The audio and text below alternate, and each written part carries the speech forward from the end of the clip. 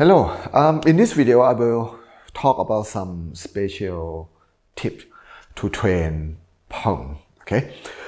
Um, I will talk about two levels here. First one is the Peng when we train in the form. We, uh, we will talk, I, I, I will talk about Peng arms, okay? So I will talk about the shape here and how to apply the force in, uh, yes, some special tip.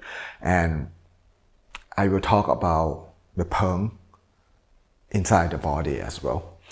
Um, when we talk about Peng, okay, basically we need two quality here. Okay, first is the surface of Peng because people touch you, they touch the surface of Peng. It's like a balloon. Okay, they touch the surface of Peng. Second is the empty space inside the Peng. Okay, it's like a balloon again. You have the surface, and you need the empty space inside that contain uh, contain the pressure inside. This is very important. If you if you train Peng and only think about your arm and relaxation, but without the quality of expanding, extending the, the surface, you cannot feel the empty space. Maybe yes, maybe you can, I mean, maybe you can have the empty space if you train in a high level, you can do like this. But um, basically, if you start to train Tai Chi, I recommend you to do Peng big as it should be. Okay. Um, if you look at Yang Cheng Fu posture, yes, Peng is big. Okay. Don't start with this.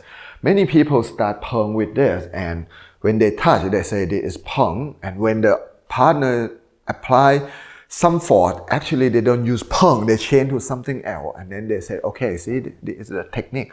But come on, there's no Peng there, and what you use is not Peng. Okay. So in this case, I will talk about Peng quality here. Again, when we touch, okay, this is Peng. When we do the form, here is the same, okay, the same as when we do the form. When I move him, I cannot push my palm forward or just expand my arm forward. That is not the right way because when I do that, it's easier for him to feel my force and he can he can borrow my force and use my force because I give too much force. But again, if I have no Peng inside my arm, it's dangerous too because the opponent will feel that he can hit my face because he feel that I have no Peng here. The right, the correct Peng is you touch light, but full feel with uh, emptiness inside and he cannot feel any force from your arm, or maybe some force, but not the force that he can borrow or can use, because this force is not pushed forward. Okay, and at the same time, you still have to stretch and open the, the surface of Peng to protect yourself, so your opponent can cannot feel that he can hit you. Okay, if you do like this, he he feel that he can hit you. He can he can come across or pass your Peng and hit you. You use this, he can borrow your force. Okay, so remember that. So what we have to do is touch. Let it force stuck at the surface. But you don't apply your force to the contact point. You don't need to do that. When you stretch your palm, open all around here, not the contact point, not push the contact point forward, not put not push the whole palm forward or use your body to push your palm forward. Don't do that. You touch, let him stuck at your palm. At the same time, the, the, the, the main important point, the, the most important, important point in this Peng arm is here. You have to let this empty and pull back. So it will stretch your Peng here, create the, the surface. But at the same time, it's create more empty space. Okay? I know we can create empty space by pushing out forward, but that is not Peng because the direction go in one, one way, one direction. Peng is about Su Mian Pa Fang or all direction. When you open stretch this, you have to open your body at the same time. Pull yourself backward. So you stretch this, and now it's easier for me to move him. Again, you resist. Okay, if, um, if he resists, and then I, I use my force. Whatever you use, okay, your waist, your hua, or whatever. But when you use your force, you use lead, you use your force, you use force. So you don't have to do that. Your waist and hua should be passive, at least here, okay? You stick to him with peng, expand the surface, but at the same time, you pull this backward. Your body will want to turn, but not because you turn, um, you want to turn because you want to push him out. You turn because you want to stretch here. When you do that, the quality change. It's easier for me to move him. Okay. So again, I use my force to push him like this. He feel my force. It's easier for him to, to resist or even borrow my force. I touch him, I create empty space, I pull myself back, I have more space now. I turn and create that stretching and move him out. Okay, that is the correct way. Again, if he try to resist and he still can, but, but he has to change. Okay. However, I can change as well, right? Actually, I can step, I can move. But when we train, okay, we train with the quality, uh, quality that we need in training. So he has his structure done. I move with normal force, I cannot move him. But then I pull this, I can move him. So when you train the form, okay, when you train the form here, see, don't push like this. Okay, don't don't turn your body and let your your body hit to your shoulder like that. No, pull your body out from your shoulder. You turn your body, but you pull your body out from your shoulder. Create stretching, and then create Peng. Okay, so you can try this. Let your Yi open. Let Peng go forward, but at the same time, when you when you turn your body and sink forward, you pull this part. You feel stretching.